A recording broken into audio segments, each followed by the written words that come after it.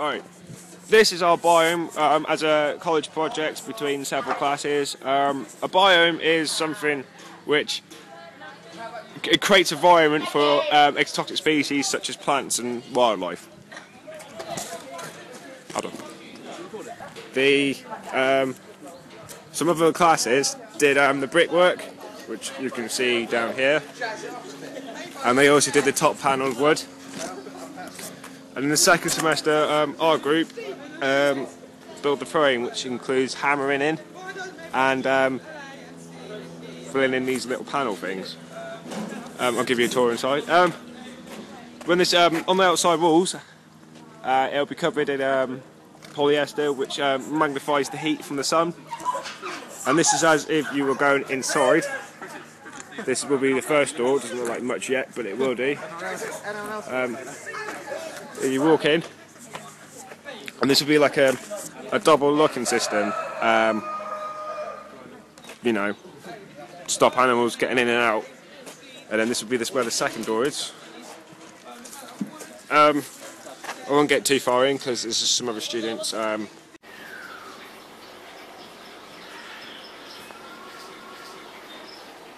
Here we are walking through the college biome. As you can see, there's one of our resident turacos. This is a white-cheeked turaco. This was all made and created by students studying zoological husbandry. We have the large umbrella plant there with a very, very, very supportive bio biological system.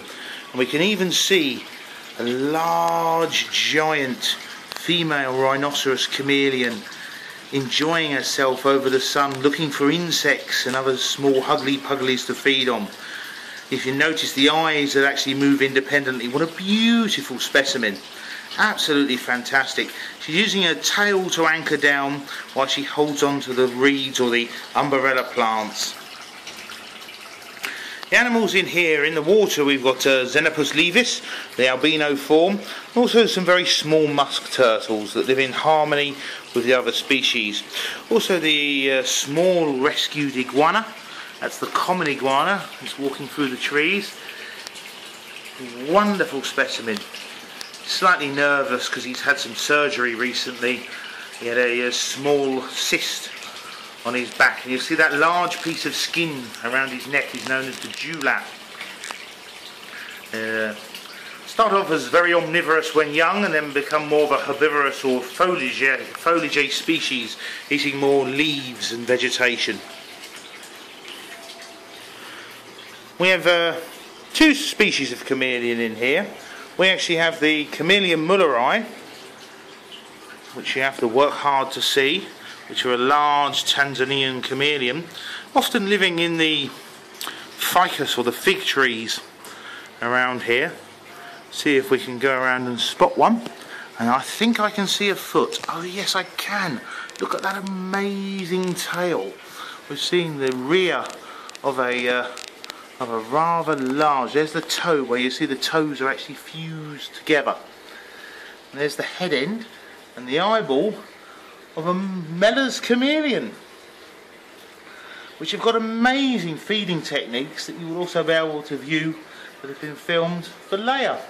That's the large male that we have there. So this is a real mini piece of jungle rainforest area. We house the giant tortoises or sulcata tortoises here in the evening so they get uh, so they don't catch cold outside.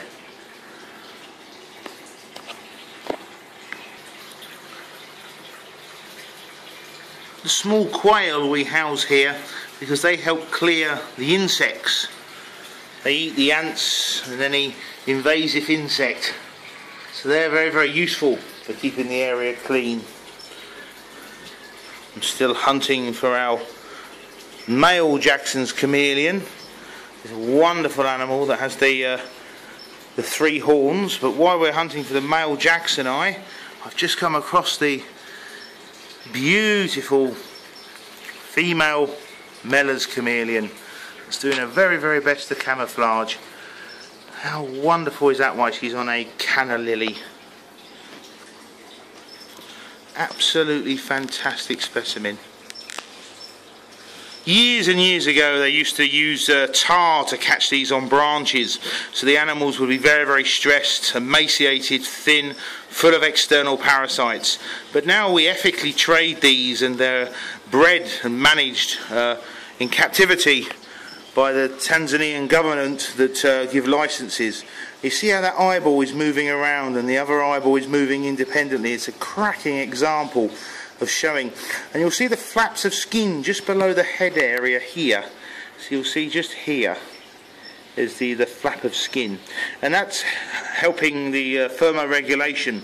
Although reptiles are poikilothermic, relying on the external heat to keep them warm, they still do have the method of cooling down should the sun get too warm for them. Also, they raise them at the back of the neck to make themselves look larger should a predator come by.